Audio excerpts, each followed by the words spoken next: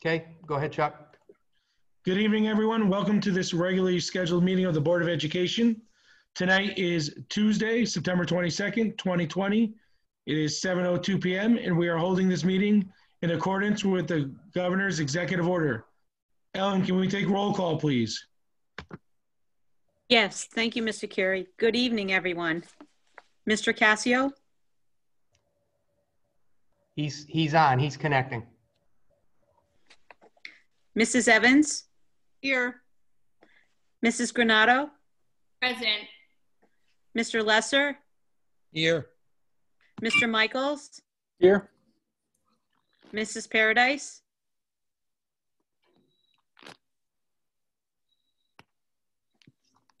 She's here. Yeah.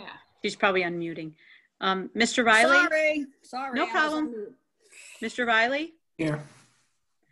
Mr. Healy, Here. Chairperson, Mr. Carey, Present.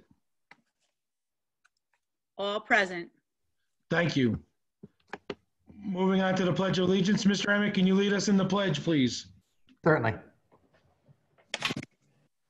I pledge allegiance To the flag Flag of of the United States of of America America And to and to the to republic the republic Which for stand- which stands, one nation, one Nation. Under under God, God, indivisible, indivisible, with liberty liberty and justice for all. Thank you. Moving on to the approval of minutes. Mr. Michaels, I believe you have a motion. Yes, I move that we uh, accept the September 8th, 2020 regular Board of Education meeting minutes. Second, there- Thank you. Um, are Chuck, I there, have some corrections. Yes, here you go. I just have some corrections, some additions um, under board comment, uh, indicating number 10, board comment with the conversation. Um, Right before, in terms of fall football, the question that I asked regarding was not only fall football, was the future of all sporting programs, so we don't give the children false hopes. So noted. Any other comments? Corrections? Seeing none, all in favor say aye. aye. Aye. Aye. Opposed? Abstention? Motion passes. Thank you. Abstain. So Abstain. noted. I should let people get off mute. Sorry, Miss Evans. All right. Okay, public comment. Mr. Emmett, I, there's no emails. Last time I checked, anyone on the call, on the call? Uh, there is no one in the queue. All right. Moving on from public comment, communications, Mr. Emmett. Thank you, Mr. Carey. Uh, Good evening, everyone. Uh, I'd like to welcome uh, Jen Hoffman uh, to the meeting this evening. Jen is uh, working with me as uh, an administrative intern. Uh, Jen is currently, uh, working on her 093 certificate with Central Connecticut State University. Uh, She is currently Director of Special Services for the Hartford Public Schools and uh, has worked with me over the course of the summer and will do so into the fall on learning about the ins and outs of the superintendency. So Jen, welcome. Glad you're here. Uh, have some good news to start off with this evening. I'm very pleased to announce that Wethersfield High School senior Mr. Tiago Wynn has been elected as the Board of Education student representative. Tiago will join us for the October 13th board meeting, and I certainly look forward to working with Tiago and appreciate the leadership that he will bring to our uh, board as the student rep. Um, he is a, an avid cross-country runner. He has been uh, participating in cross-country and track for the past four years of his high school career. In his free time, he enjoys spending time with his family, gardening, investing in stocks. Perhaps he should be at one of our finance and uh, operations committee meetings. And also disassembling and reassembling his car to better understand how it works. After high school, Tiago plans on attending college with a major in business or political science. Uh, he reports he's honored to be able to represent the high school and student body at the Board of Education. So Tiago will join us for the next uh, regularly scheduled Board of Ed meeting. Uh, I have a COVID-19 update. As you are all aware, uh, our school community received word of a positive case last Wednesday afternoon. Uh, This evening, later on in the agenda, I have uh, asked Chloe Bobrowski, the district's nursing supervisor and COVID-19 co-liaison, to join us to provide an update on our health protocols as we operate the district.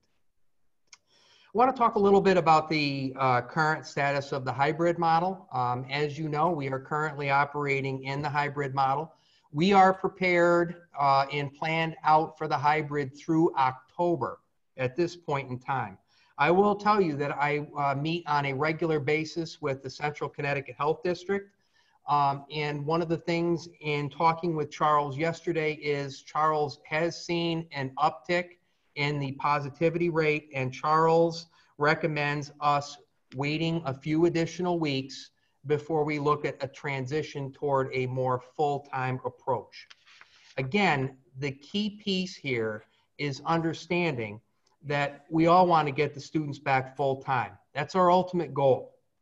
We also have to recognize the potential implications of a full reopening, including the inability to socially distance a minimum of six feet, increased numbers of students and staff that must quarantine in the event of a positive case, and the potential impact of having to go full remote should we be unable to staff classrooms during quarantine or isolation for a positive case.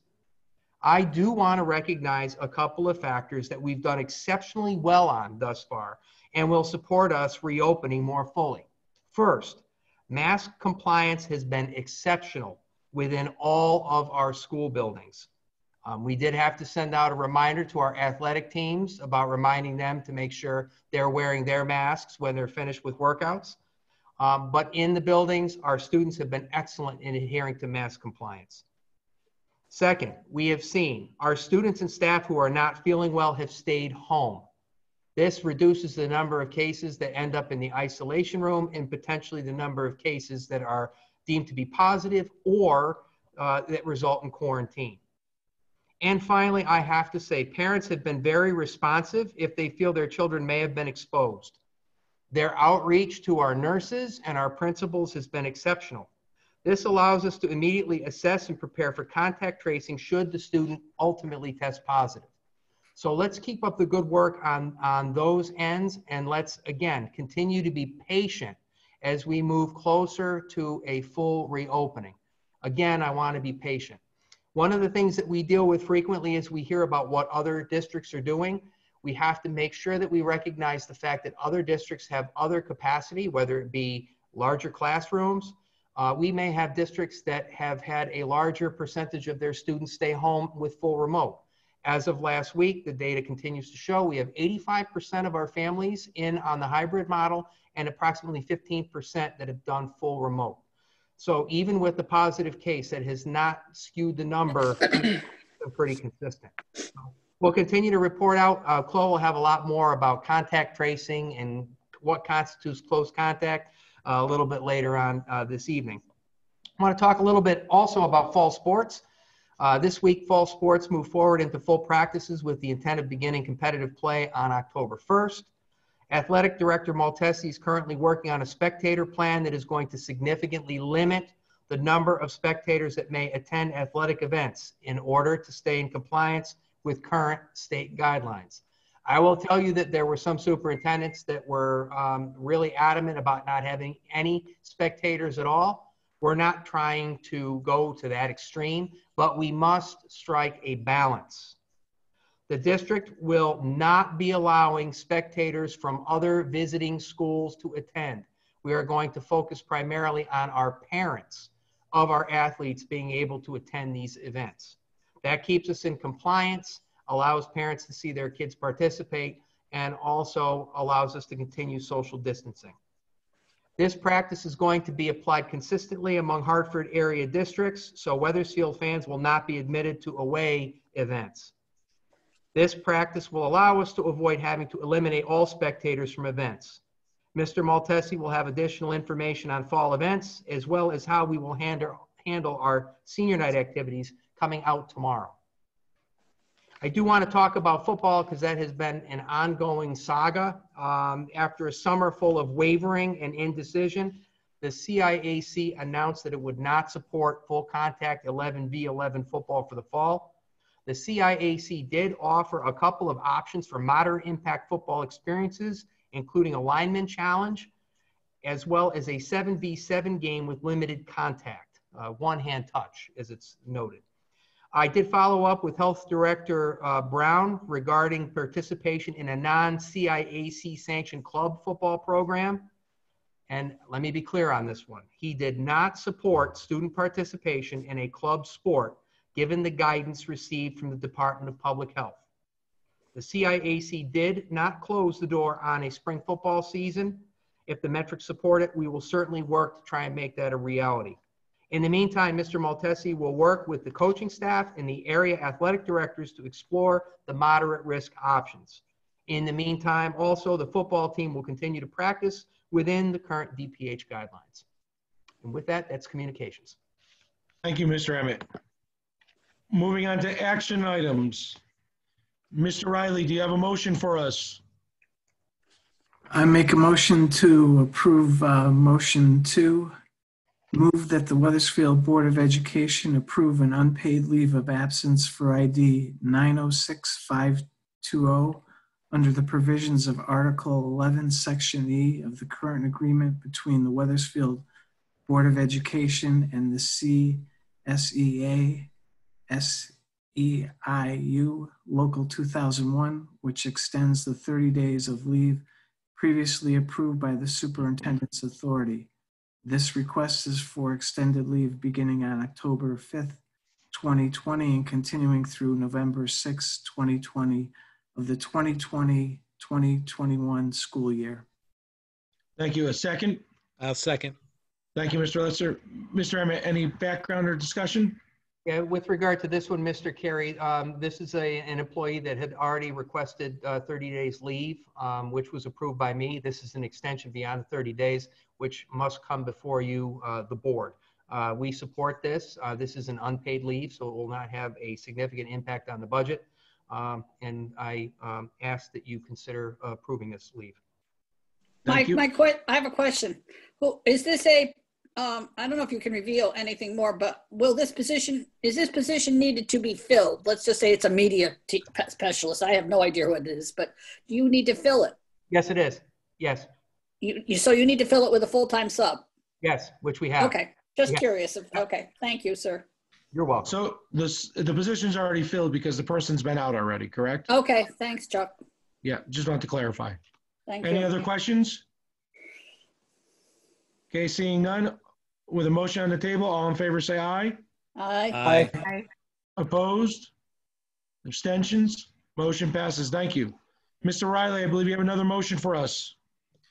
Make a motion to approve recommended motion 2A. Move that the Wethersfield Board of Education approve an unpaid leave of absence for ID 905406, which extends the 30 days of leave previously approved by the Superintendent's Authority. This request is for extended leave beginning on October 5th, 2020 and continuing through November 6th, 2020 of the 2020 2021 school year. Thank you. Is there a second? Second. Thank you. Mr. Emmett, Uh, this is the same scenario as the previous leave, Mr. Carey, one that, uh, we support. thank you. Any questions? Yeah, I, I have one question. It's about both of those.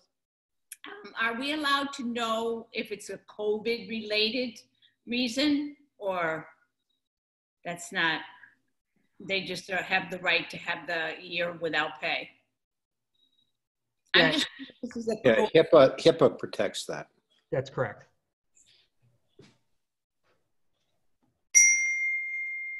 Any other questions? Seeing none, a motion on the table. All in favor, say aye. Aye. Aye. Opposed? Abstention? Motion passes. Thank you.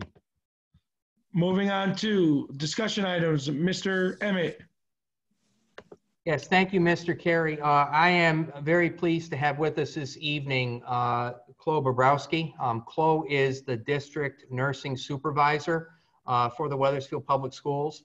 She has been an integral part of the whole reopening process. Um, She is our resident expert on all things COVID. Um, one of the things that we've done this year in an effort to make sure that her expertise is able to be shared across all buildings. Um, typically, she's housed over at Webb. So one of the things we've done is we've brought in a substitute nurse at Webb so that we can make Chloe district level so that she can get to all buildings and she can support staff members when we're dealing with a case uh, involving isolation or any type of contact tracing. Uh, Chloe also serves on a state committee. She's one of only, I believe, six nurses in the entire state of Connecticut, school nurses, that was selected to serve on this committee and was really instrumental in being able to be the bridge between the Department of Public Health, the uh, State Department of Education, as well as the Wethersfield Public Schools. So at this time, uh, I'd like to turn it over to Chloe for an update on our health protocols. Chloe. Cool. Thank you very much. And thank you all for having me here tonight. It's nice to see you. Um, I do wish it, uh, it was Dr. Lynn Sosa that was sitting in this seat tonight to be able to address the board but I will do my best. Uh, we've been checking in regularly with the Department of Public Health and the Department of Education on Healthy Tuesdays to get frequent updates, review of the addendums that are coming out regularly. There was a new one even yesterday. I think it's addendum 14. So uh, we're, things are constantly changing and we're constantly trying to stay updated on the most recent information and be able to provide the most up-to-date guidance to our school system. Um, so with that, I just want to let you know that we have had um, a previous relationship with the department, with our local health department. Our nurses have worked regularly with uh, Central Connecticut Health Department, whether it would be regarding lead abatement, bed bug stories, those types of things where we've actually had, we did have an established relationship with Charles Brown and Ann Hartman and other officials with the health district so that when we had to move into COVID tracing, it was a very uh, uh, natural relationship, one that I was happy to have already established so that we could proceed and work together. Because that is the one thing that this is about. We are all, definitely all in this together. So with that, when we opened up, when we started really working on our framework for reopening schools, and the health and safety for the operations of the schools and the staff and the students. We relied heavily on his expertise and his guidance in order for us to create the best possible environment for schools. So um, I just wanted to review that uh, we do have, you've heard about the three W's, wash your hands, wash, watch your distance, um, and wear your mask but there's actually five W's and maybe even six, which include when you're sick, stay home, and when the health department calls, answer your phone because that's the reality of the days that we're living in right now. So, being able to open up the schools, we started out communicating with the staff and provide resources for teachers and their students about uh, signs and symptoms of COVID. So, on the very first day, um, August 24th of professional development, we had created over the summer a curriculum um, with curriculum specialists and the nurses that was three hours that we went started at 8 o'clock on Monday morning in order to really review the signs and symptoms of COVID-19 with all staff and let them know the different mitigating strategies that we all had had, we were, going, we were going to put into place with the schools. So of course, these included, you know, recognizing the signs and symptoms of COVID-19, um, what does social, what is social distancing, using the six feet rule, frequent hand washing, mask guidance. Um, we've uh, since updated our framework to um, just recently with the recommendation from the Department of Pub Public Health, we banned the one-way valve masks. So if we do see a student that has come with come into the schools, we're able to um, change out that mask, let the parent know that they're no longer allowed in schools. Um, they can, we let them keep them, they can wear them. They're not recommended to wear anywhere, but we definitely wanted to get them out of our school system. Uh, talked about our improved ventilation, talked about our enhanced cleaning. We reviewed PPE, um, the different types of mask coverings, the use of face shields, reinforcing the message that face shields are not to be used alone. They're supposed to be used with a mask. Want to make sure everybody understood that. um, being able to go outside, being able to open a window if, if possible for better air exchange, coughing etiquette, and also reporting illnesses, which is really becoming, you know, just what's going on right now. This is what we were expecting, and that's what we were preparing for. So we talked about reporting illnesses and also um, the uh, presence of the isolation room in each of the schools in order to be able to offer um, containment if there was a case or symptoms that would occur during the school. So all this was already set into place in the framework and reviewed with the, with the entire school community on the very first day. So it, it's, it did send, it, it, it really did put down a nice groundwork. Um, and so with the other professional development that went on through the week, but when school started, we got to really operationalize all these plans. And like Michael had said, we're really, really thrilled with the way uh, mask wearing, how well the kids have been wearing the masks, how well staff's been wearing the masks.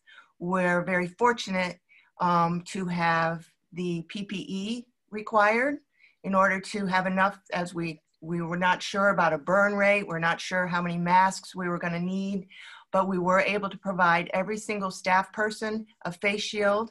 And if things happen to someone's mask, whether the ear loops break or it falls or gets contaminated, somehow breaks, we're able to offer those to any staff member or any student at any given time.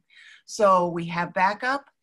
Another thing that we did do over the summer with the recommendation from Charles Brown was all the nurses in the district attended a contact tracing course from John Hopkins University. This was a very intense course. It took many, many hours to complete, um, but it did provide a, a, a good solid um, baseline knowledge for contact tracing. In addition, we've created a contact tracing form that all the nurses have become familiar with and also the principals that we're starting to really use and we're very happy that we've had that already in place.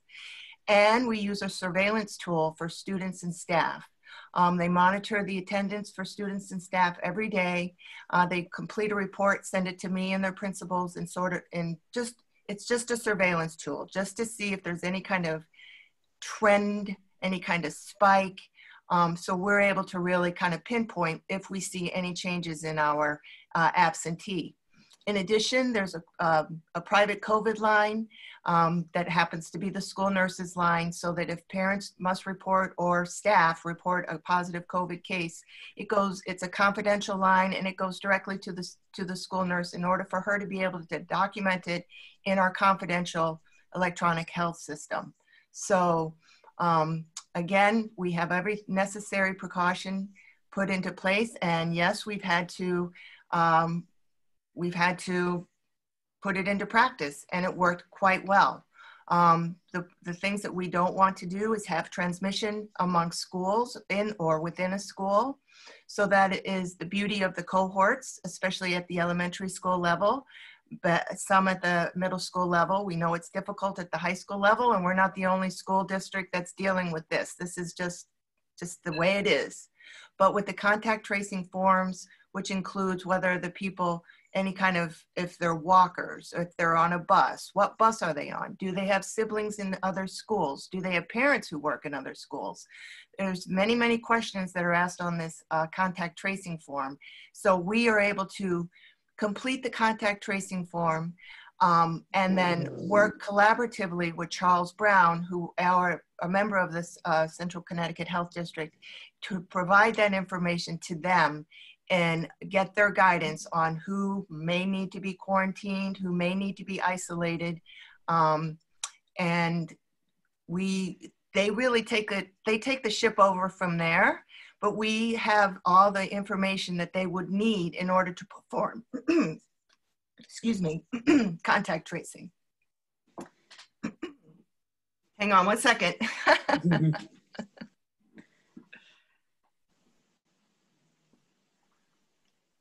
so we've already, we've also put in some information about different types of um, COVID testing sites uh, Michael put out a communication, I believe it was last Friday or the Friday before, regarding protocols for staff and students.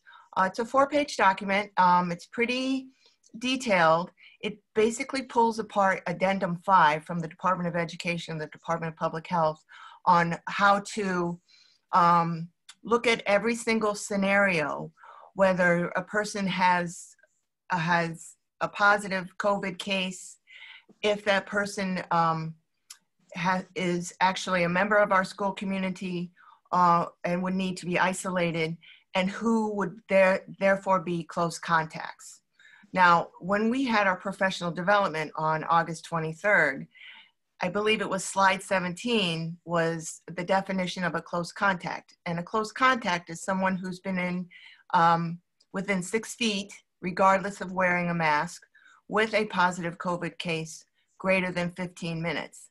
And when we went over this particular slide, it seemed like just really no big deal. Well, this turns into, into be the big detail of containment and being able to perform um, good contact tracing in order to determine quarantining, isolation, or if really determining if there's a contact of a contact. So for instance, if you have a teacher who says that a family member of theirs that they live with has tested positive for COVID-19, that teacher would be a close contact.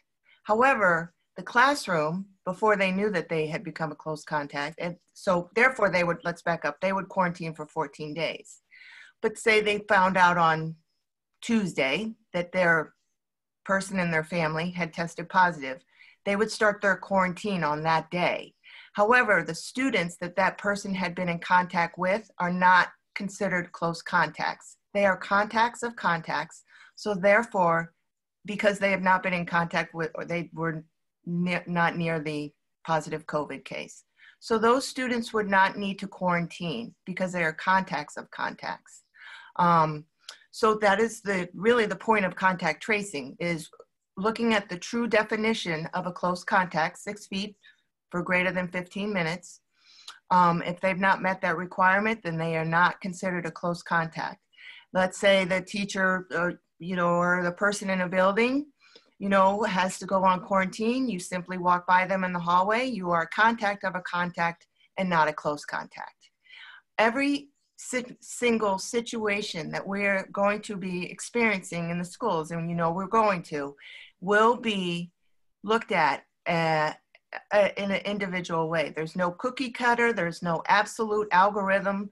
Every we look at illness in the community, which kind of makes things a little vague. And this is why I'm really happy that we have um, the addendum five. We have the protocols in place, but we also have other community illnesses that are circulating. And we're going to have the flu. And I hope everybody gets their flu shot. Just plug in the flu shot. Get it when you can. But um, we are so that is sometimes it's a vague decision where we have to really look at what's circulating in the community, what key symptoms are being exhibited by a certain student or, or staff member, key questions of have you been in contact with a positive COVID case or have you not been in contact? Sometimes we don't know the answer to that. Um, and also just the duration of symptoms. So it doesn't always qualify that we will we will quarantine a student for 14 days or a staff member for 14 days. We hope that they would be able to seek medical attention to get a an alternate uh, diagnosis or reason for an illness. But we can't always look at that either because that can be problematic. That can be very you know they don't have a doctor. They they they're inundated with being able to go see the doctor. But that's when we look at the expertise and the critical thinking skills of our school nurses um, and really looking at the whole picture. So I believe we have things in place. Um, we're on our toes and I'm happy to answer any questions if people have any for me. Thank you, Ms. Dombrowski. Is there any board members with questions or comments? I have a question, please. Yes, Yes. Mr. Cassio. Hi, Mr. Cassio. How are you, Cliff? I'm Thank you good. so Thank you so much for everything that you're doing for the district and the little bit of education you just gave us right now. So just to, just to recap from what I'm hearing then, that is it a daily communication or weekly communication from the nurse? Or does the communication come from the principal to the staff on what's happening in their building? So we have, right now, it's, we're looking, we have a very good level of wellness. So we're not providing like a daily report on how many students are sick with uh, symptoms. We do have an absentee, we have a daily absentee that the nurses do the surveillance on. Right now we have, you know, typical absenteeism um, among students and staff, but we don't have a daily. We're simply using our surveillance tool to look for any trends at this point. Okay. All right. So I was, so that would come from the nurse or the principal if it was something that needed to be reported. I would, I, I, we would definitely work. We do have responding teams, so we would work together, and I most likely would come from an administrator. Thank you. You're welcome. John, to that point also, I just want to build on your, your question. The other piece that's clear here, if we do contact tracing and there is uh, reason to believe that staff and other students had close contact and would need to quarantine, that would be administration and the Central Connecticut Health District that would reach out to those individuals that would need to quarantine. Thank you. Ms. Chuck? Evans? Hey, Claude, thank you so much for all this information. I sent Mr. Emmett an email with a ton of questions, and he basically was like, save them for Chloe because she's the expert. uh, no, but he answered a bunch of them too. Um, Elsa, where are you? so I just have, I just want to be clear because I feel like there is um, some confusion because I mean, you were talking and it confused me. Not that you guys are experts. I believe there's a lot of wellness. I mean, I'm very impressed with the mask wearing. My first grader came home and I said, How is the mask? And she goes, Oh, normal. Like there was no issue with it. It was amazing. Um, but I do have a question. So there's scenarios in which a student could have be COVID positive and their teacher would not have to quarantine. So I think that was the biggest question I have because this close contact, um, you basically said was six feet for 15 minutes or longer. So if this student would, let's say there was a student in a classroom um, for a half hour, um, that teacher wouldn't necessarily have to quarantine if the student was positive or out of precaution would the stu- would the teacher just naturally and anybody around that student would quarantine so i guess i'm confused So we would definitely use the guidelines of uh, close contact. If the student, and this might, be, thank goodness we haven't come up against many situations like this, but I'm envisioning with Charles Brown's guidance, he will be looking at the placement of the student in a classroom and the placement of the teacher. So that may negate the six feet. However, I that would really be his more of his determination. He's he's he's receiving a tremendous amount of uh, experience right now, looking at all our different school systems: Newington, Berlin, Rocky Hill, Wethersfield.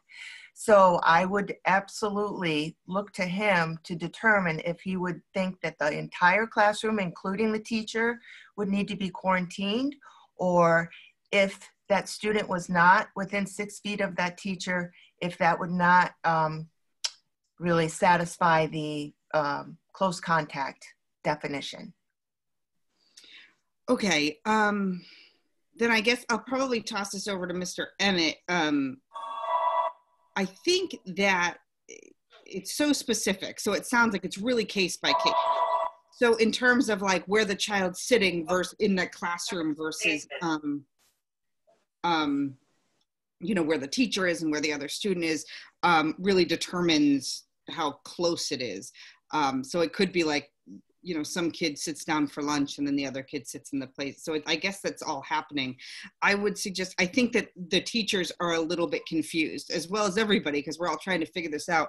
But i do think that maybe um, more communication and I, I know that mr emmett sent me some information but i do think some of the teachers are frustrated because they don't know what's going to happen. There's a lot of these scenarios going through their heads, and um, I, I guess it's kind of tough. I would love to see some sort of opportunity for them to ask these questions. Like, if this scenario happens, what, how should I be prepared? Because I worry about the anxiety in the classroom. Thank you for your information, though. Yeah, Kelly, I think that's a great point. I think it's important to reiterate that in each of our buildings, we have a nurse. And I had suggested, because I went over to Silas Deane last Thursday after I had sent the announcement out. Um, that announcement went out. I know it went out to all of you. It went to you guys twice. It went out to all staff members in the district. It went out to all students and it went out to all parents. Um, I did follow up and, you know, I did hear some concern from some of the staff members. Um, one of the things I suggested to administration was at the next staff meeting, having Linda Ciarcia, our nurse, walk through the, the close contact, walk through the contact tracing. I mean, look, here's the reality. The communication that I sent out last Wednesday actually had addendum five in it. And what ended up happening was it's a link and you read the communication and you don't necessarily go into the link. So I definitely I didn't. that's I, I definitely think and that's it's it's a normal thing. You read the, the communication and that communication, so everyone knows, is a direct template from the Department of Public Health. Because I know the other piece is this. Well, who is it? Who what what grade level? Well, what what team? And I have to strike the balance, and I had this conversation with the Wethersfield Federation of Teachers last Thursday.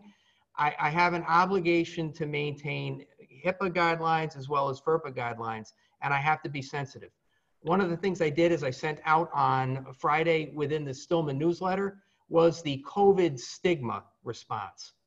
You know, somewhere here in this town of Wethersfield, we have uh, one of our school community members that has it and is probably mortified and embarrassed to see themselves up on the, or their story up on the media.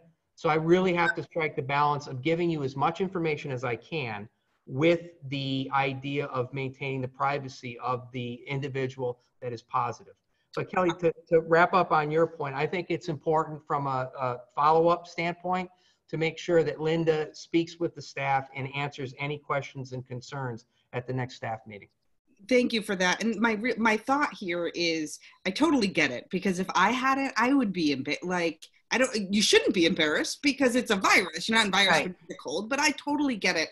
Um, what I would really like to see is just kind of a broader, open communication with the teachers because I feel like I'm just worried about burnout. I'm worried about the amount that they're juggling in general, doing this hybrid model. Then to have to worry about, okay, what's going to happen if they have an older mom and stuff like that. So what I'd really like to see is kind of um, just outreach, a little bit more communication, kind of back and forth, saying just so they can kind of get a little bit more comfortable with if this happens, you know, what would be the situation. So I think that's just my my big concern. But thank you.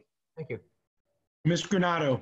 No, and this is great because I can piggyback on what Kelly's saying. In the Stillman Weekly Letter, they talked about teaching teachers resilience.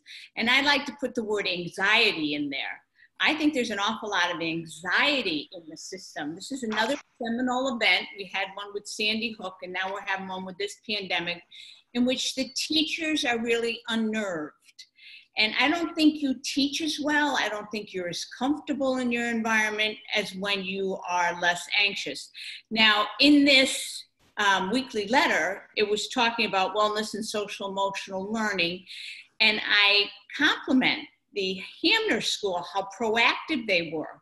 They actually went out and are following a book and they're having a book club. And what a great way to discuss this anxiety because as it says, you can build resilience. Um, I think the system should be doing something similar like that. Um, we should all be in this together. And not knowing is scary. Um, being able to talk to one another builds resilience. And I think we need to do both of those.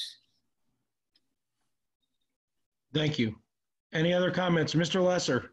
Yes, thank you, Mr. Chairman. I have a comment and a question. First, Chloe, thank you for all you're doing. It's an incredible um, amount of work, an incredible effort, and you're helping protect all of our uh, staff and teachers and students. And uh, we all appreciate you all throughout the district. So thank you very much. as far as my question to you, I wanted to ask you about absenteeism. So I know one of the guidelines is if a teacher feels uh, sick at all or a student is feels any type of um, illness at all, uh, we are telling them to stay home. Have we seen a significant increase in absenteeism either among staff or students? According to our surveillance data, we're looking at a normal absenteeism rate at this point, uh, around 3%. So it's, it's not a significant amount. That's through the week. That's for a total week. So we're looking at any kind of trends, but at this point, we're just looking at, um, we're not seeing any kind of increased absenteeism at this time. That's for staff, right? Do we know about for students? Oh, yes, we do a student, yeah, we get daily absenteeism. Is it the um, same or similar? Mm-hmm. Th- oh, yes. Sorry to interrupt. Yeah, same, okay. Well, Yep. I'm, I'm, I'm glad to hear that. I'm actually a little surprised, but I'm very happy to hear that. Yeah, I me suspect in the fall, it may, in the fall and the weather changes, it may go up, but, Well- um, Well, that's why we do the surveillance tool, so we can see if there's any significant trends or anything. We will be able to pinpoint it right away. well, thank, thank you for everything you're doing. You're welcome. Sure. You're Any other questions or comments? All right, thank you, Ms. Dombrowski, for coming tonight. I Well, you're appreciate all your hard welcome. work. My pleasure. Anytime. Thank you. All right. Next, announcements and information, please look in your packet. I know there is some committee meetings coming up. Make sure we, uh, if we can't attend, we let our chair of the committee know. Meetings held, Wethersfield Early Collaborative, which is the WEC, the WEC. It was on September 14th, 2020. Ms. Granado. Okay, well, the WEC meeting, the Wethersfield Early Childhood Collaborative held a virtual meeting on Monday, September 14th. Kim Bobbin, who's the WEC's coordinator, voiced her concern about the decline in the number of threes and four-year-olds attending preschool. The TLC, which is our town program, is not running right now due to low enrollment. So the town is exploring having a virtual preschool partnership with the Wethersfield Public Schools to help our young citizens, our young learners prepare for kindergarten. Um, this, and this is an important note, will be the focus of the WEC annual meeting, which is also virtual, on Monday, October 20th at 5:30. Please put it on your calendar. The meeting has the important topic of, quote, how do you meet the social and emotional and academic needs of children in a pandemic to ensure they are ready for kindergarten? Now, you'll have to check the WEC website for the link that will get you an invitation to that meeting. So um, everyone is invited, and we all know that a strong early childhood learning experience is a strong foundation for a school system. These, um, please consider signing up for that meeting, and um, it's just a very important meeting. And not to have our preschool um, functioning is is quite um, upsetting. Thank you. Yes, thank you, Ms. Granado. Next meeting held the CREC council on 9/16/2020. Ms. Granado.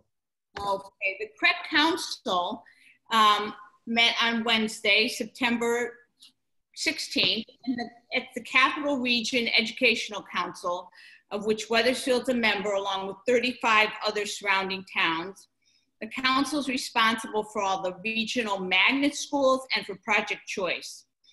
Greg Florio, the executive director's report was on the successful opening of the magnet schools and the challenges that CREC faces during this pandemic.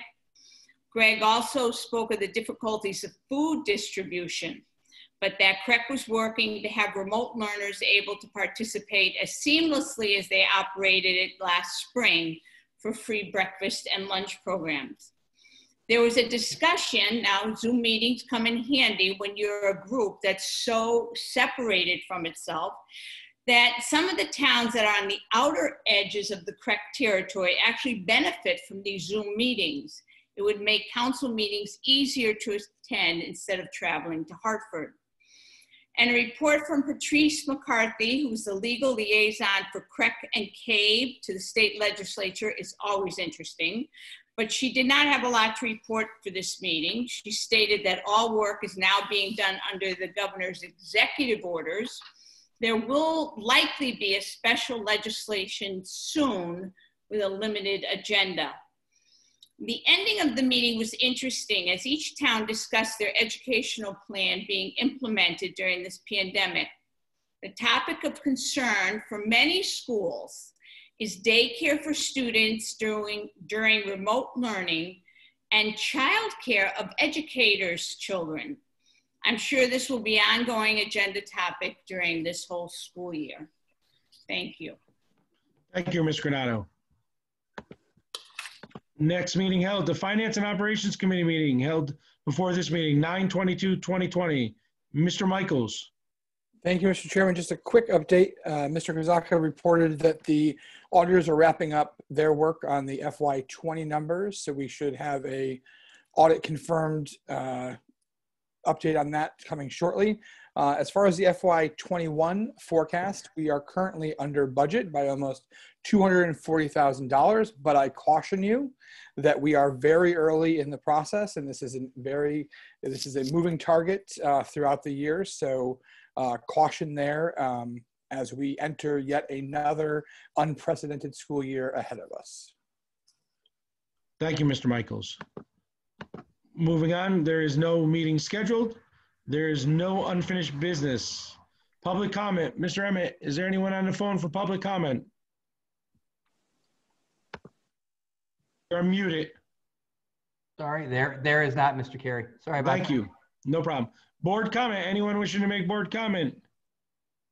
I have a comment, please. Yes, Mr. Cassio. Thank you so much. Just wanted to thank everyone for all the work they're doing, not only as a board member, but also within our administration. But more importantly, I do want to thank the uh, faculty and staff of the Wethersfield Board of Education. They're uh, moving and they're working in unprecedented times. They're uh, keeping their enthusiasm up under uh, this pandemic again and not working with a certain calendar, so to speak. But more importantly, I just want to put the, a, a, large thank you out to all of them um, and see, let them know that we do appreciate all the hard work they're doing. Now, with that being said, I would like to just bring some work to the table uh, that as a board we've adopted a few years ago. And I asked the question of the superintendent.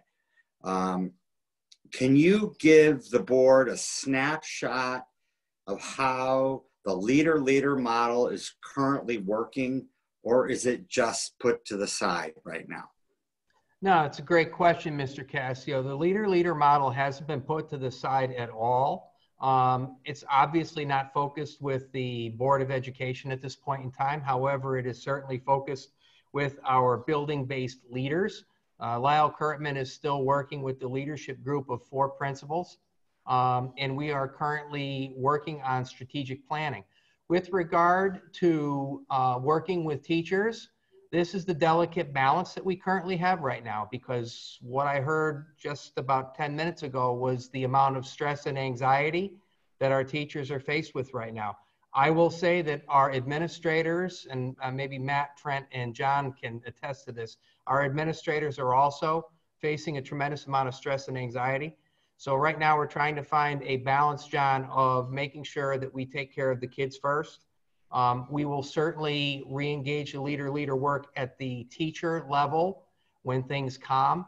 I will say that at our buildings, we have leadership teams. So over the course of the summer with the reopening document, for example, Silas Deane Middle School, Highcrest School, I know Webb with Ken Craig just starting there, and Hanmer, uh, Charles Wright, and Emerson. I've gone through them all.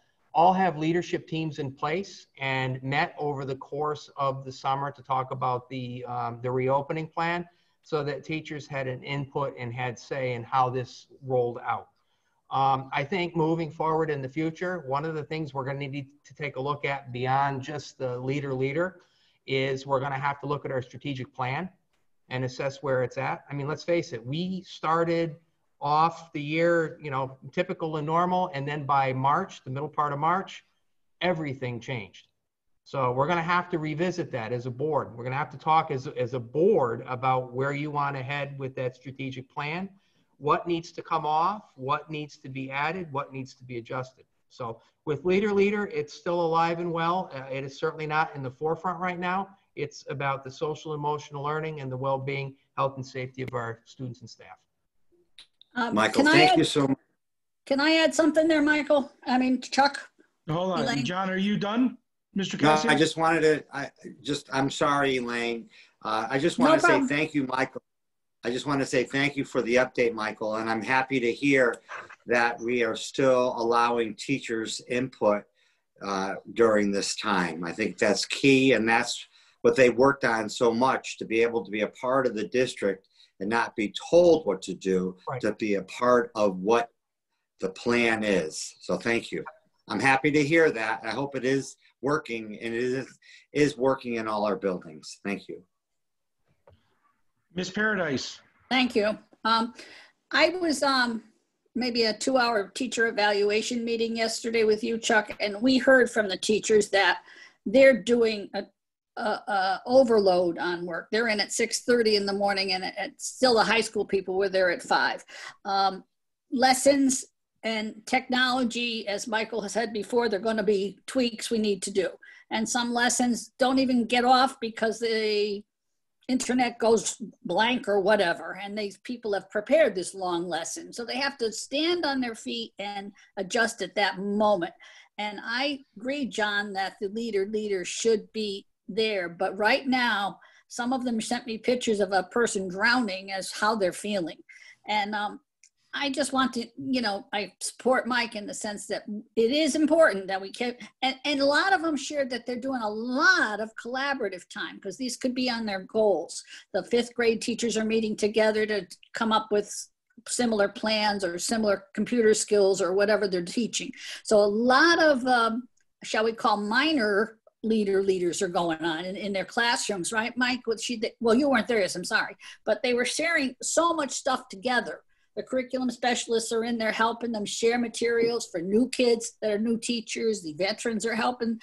I mean, I guess I kind of put that under leader, leader, helping each other in these times. Now, John, I agree with you. We could go back to full leader, leader when this kind of settles down, but they have enough to do from what I heard yesterday. And they're you, in not as directly as we, we wanted leader, leader, but they're still helping and, and doing things together and sharing. And I think that's commendable to all of them who are who are just about to start and the internet shuts down. You know, the poor art teacher, she goes, I've had to stand on my feet and um, do something else right then and there. You know, so imagine that people um, in, in your life with 15 kids in front of you, and they're, you know, what do you? It's tough, very tough for them, and they're very anxious, but they're doing it. That's the point. She came up with something else, but she's got experience. What about the first year teacher? And they're go, willing to go next door and help the first year teacher. So I commend them all, John, and I know you do too. But um, I don't think leader leaders at their top of their game right now. they're surviving day by day. Sorry, that's all I had to add because I saw them all yesterday. Thank you, Ms. Paradise. Ms. Granado? Um, I had two other meetings I wanted to bring up. One was Keen on Kids. Um, Judy Keen is so disappointed, but um, Keen on Kids met virtually on Thursday, September 17th. And like most nonprofits in this area, they've had to cancel events for this year because of the risk of infection from the coronavirus and the need for social distancing. So their golf outing is out, their 5K walk and run, their picnic of remembrance on the green, and their Cove Side Carnival. That's a lot of money, folks. Keen on Kids After School in Richmond did have a four-week program that focused on summer science. But this fall, with the changes in the school with hybrid and virtual learning and the safety regulations, they will not have in-person Keen Kids after school enrichment programs. They are looking to find a virtual enrichment program, possibly on Wednesday, but they're, they're, they're searching for that. Um, another group, and it, it, it gets a little frightening. There was the Wethersfield Hunger Action Team virtual meeting on Friday, September 18th. Sarah Hill is our coordinator. The farmer's market is now taking SNAP money. The Dazzling Dozen monthly food drives continue. Women for Progress, it's September with an abundance of food. This food goes to the food bank in the month of October, set to be run by the Wethersfield Democratic Town Committee. The Wethersfield Public School and Chartwell's Dining are pleased to offer free breakfast and lunch for all Wethersfield kids eight, age 18 and under. The service is available to all students, whether present in a school or learning from home. An online order form must be completed prior to the pickup at Weathersfield High School from 10:30 to 12. And the flyer hat with um, all the available information comes to the schools. Um, food share is at Rentschler Field, the rent as it's called. And last Tuesday, so we could go today, had 2,200 cars come through. And that just shows you that demand continues to grow as many individuals and families in our area are dealing with food insecurities. There was a discussion of free pantries located around town, um, and the planning has started for food help for the holidays, especially for Thanksgiving. This is an incredibly dedicated group to work with. Thanks. Thank you, Ms. Granado. Any other comments? Ms. Evans? Thank you, Mr. Carey. I have one um, comment kind of slash question um, regarding professional development and um, is uh, there's all this new stuff with Google Meets and all these new items and I, I honestly I'm not, I could barely even log on to this. So, in terms of professional uh, professional development this year, are we are we going to kind of like streamline um, to some of this new stuff um, to help the teachers do more with all these varying platforms? Yeah, good, good question. And it's interesting, Kelly. You know, I learned all about uh, meet crashers. I had never heard of meet crashers. I just read an article about yeah, we- we had meet crashers in Wethersfield where we had students giving out their uh, their uh, IDs to get into a meeting to someone else, and they join by a phone and can't be identified. So um, we're, we're learning as we go. Um, we are in the process of developing the uh, PD schedules for uh, upcoming dates. Uh, obviously, as you know, uh, we have uh, election day. There's PD that day, and I believe there's a PD day in October as well. So that that type of PD, we do gauge uh, what our teachers need. I am certain that there will be some technology offerings. The other thing we've done too with uh, Sarah Harris is our instructional um, supervisor for technology. Um, one of the things we found, like at Highcrest School, um, the planning process, you know, one of the things we heard from teachers was, you know, it's like I'm planning for three groups. I got my cohort in front of me. I got the kids that are in cohort two, and then I've got the remote learners. So Sarah reached out to them and met with them and talked about ways to um, kind of increase the efficiency. The other thing that's the reality with our teachers, they they they want to do their best. They they they want perfection. And the reality in this particular environment with the unknowns of the internet. Today, I had a Zoom meeting with a group of area superintendents and Lyle Kirtman. Our network went down and I got booted from the call. The, these things happen and, you know, we have to, we, we have to be able to be adaptive to, to these new environments. The other thing I want to stress too with regard to PD, I said it before with uh, John's comment. I, I certainly don't want to overdo it, and I don't want professional development to be just a you know four-hour block of time where nothing meaningful gets done. It needs to be meaningful, it needs to be sustainable, and it needs to be applicable. So we're in the process of developing those. We have draft uh, documents. Once we have this set Schedule, we'll make sure that we get that out to you guys so that the full board sees it in advance. Thank you so much. And I will just reiterate, I mean, I am beyond floored with how organized. I know I sent you a note after the first week of school. This um, hybrid model is working. I mean, the fourth grader I was like, oh, this is going to be easy. The fir- uh, the fact that my first grader can log on and knows more than I do, and they keep them on track and the schedule. I mean, it, it, they've modified it to make it even better, but it's beyond impressive. And I mean, these teachers are really doing a fantastic job. So thank you. This that piece right there to, to build on what you just said is why we need to continue to think about being innovative. Think about where we were I, I didn't know how to do a Google Meet. I couldn't do a Zoom Meet.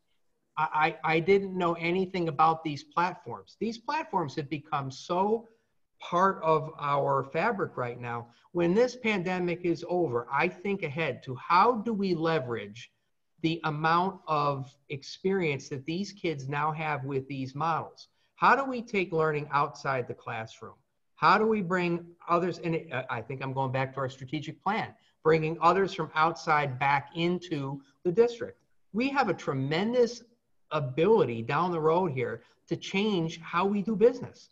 So I think it's going to be important once we get to that point where we've got a vaccine and we're moving in that direction where we can get back to this level of normalcy. Let I'm looking forward. I'm excited. I mean, yes, I'm nervous and I'm anxious, but I'm also excited about what the future holds. Our teachers have done tremendous work, and so have our kids. It's incredible.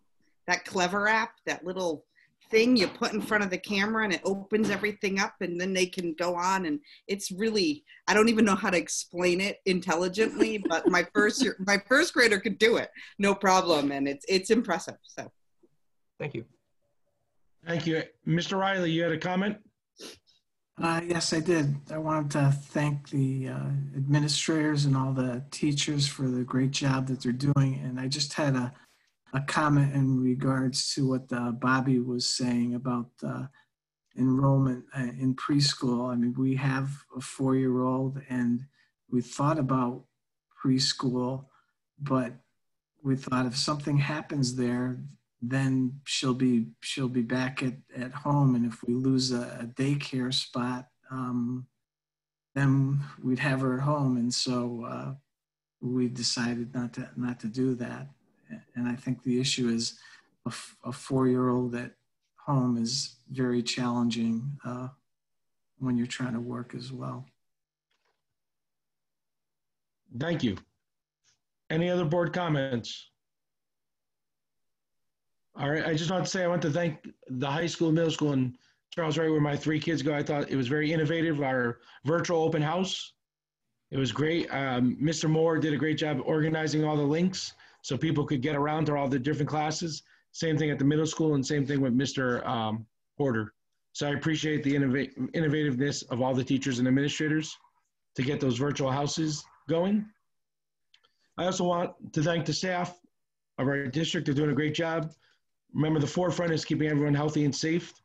And with that, I, I know it's been a big burden on the parents of our district with the hybrid model, but know that it's on the forefront of Mr. Emmett's decision making of what's safest and healthiest for our students and staff. And that's always going to be the center of his decision making. So, but we do appreciate your patience and help in this unprecedented time of education. But we do realize it is a burden on a lot of people and certainly not easy. Seeing no other comment, can I get a motion to move into executive session? So moved. Can I get a second? Second. Thank you. All in favor, say aye. Aye. Aye. Aye. Opposed? Abstention? Motion passes. Let's give it a minute for our recording to end. Good night, everyone.